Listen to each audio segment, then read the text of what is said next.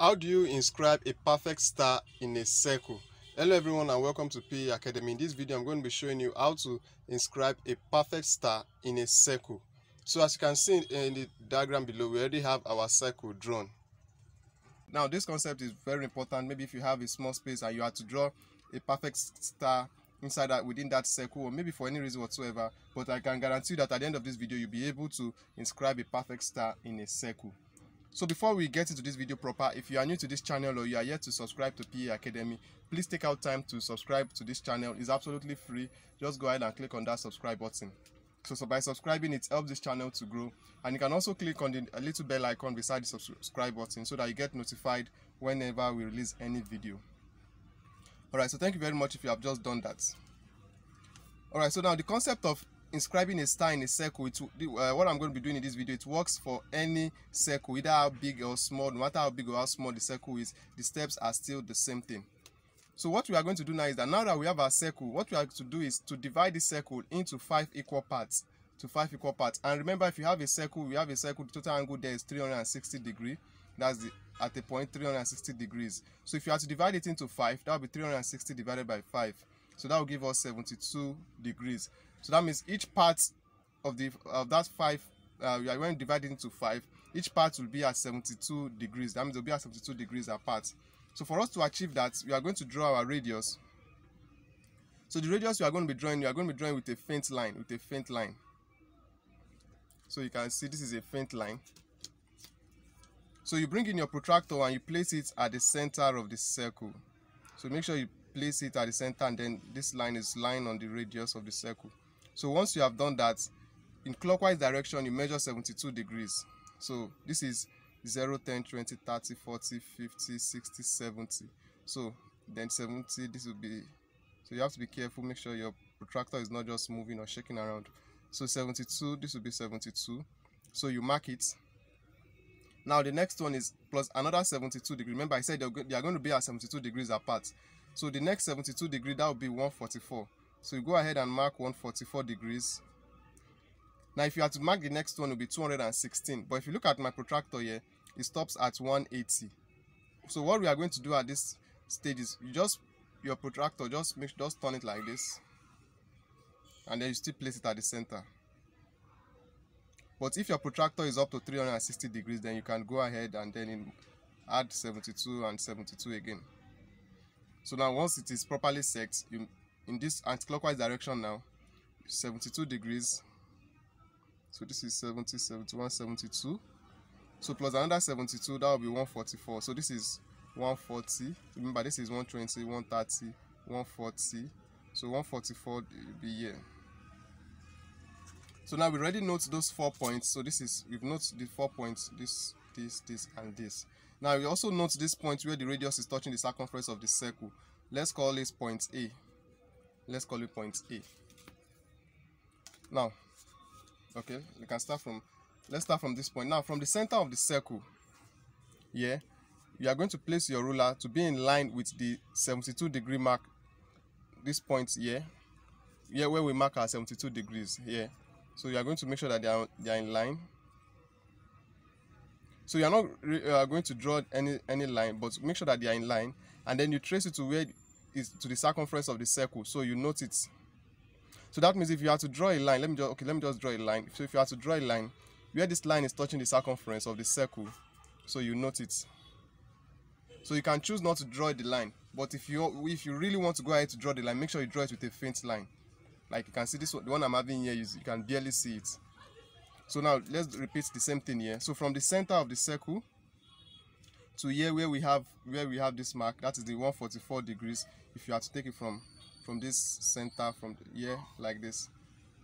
So from the center to this point this time around i won't be drawing the line.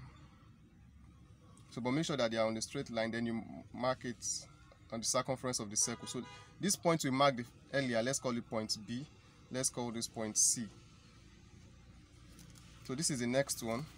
We are going to do the same thing from the center you make sure that they are in line and then you mark it on the circumference of the circle so let's call it point D and then the last one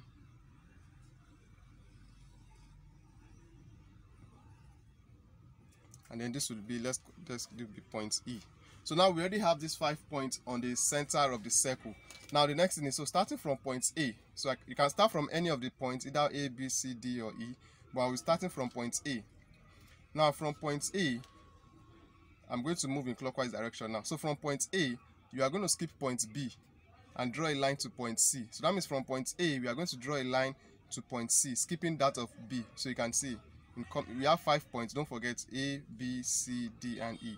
So now we are from A, we skip this B, and we draw a line to C. So the line we are going to be drawing is going to be a faint line.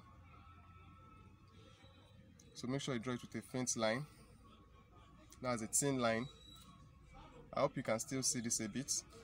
Now from point C, where we you know this this line from A to C. So from point C, you are going to skip point D and draw a line to point E. So if you're already finding value in this video, please give it a thumbs up. Don't forget with a with a thin line. So a thin line. Then from point E, you skip point A and draw a line to point B.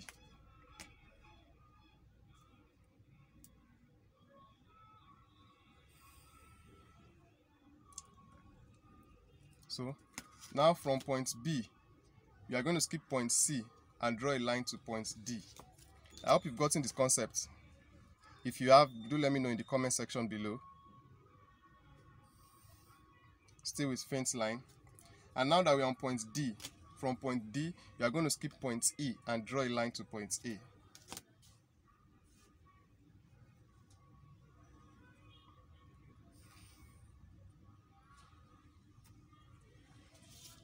So if you and if you so if you're at this point now you you, you will be seeing what uh, you already have your star. But now let's now bring out the star so that the star will be bold enough to show that we've really inscribed it in a circle. Now there are some intersection that i want you to note. So for example the, this point of intersection here the one here so you see it on your drawing. Is looking is not looking too clear here that's because i'm using faint lines which is what you are supposed to use anyway. So let me just call it um, let me just call this point one point two looking below. Okay then this point three four and then five. So now what we want to do here is now from this point one i'm going to draw a line from point one to point a. So from point one to point b these lines are going to be bold. So with that that means we are going to be bringing out our star.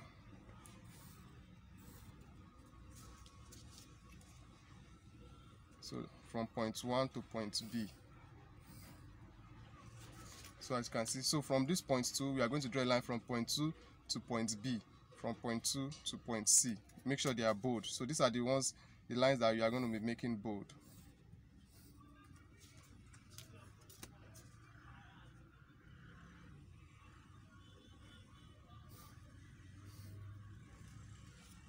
So what I've done here, I'm going to repeat the same thing from point 3, 4, and 5. So just follow along. So from point 3 to point C, then from point 3 to point D.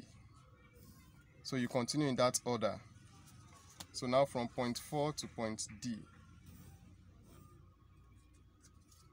From point 4 to point E.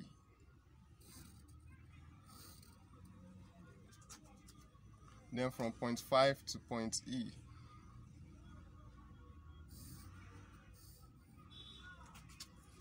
And then from point 5 to point A.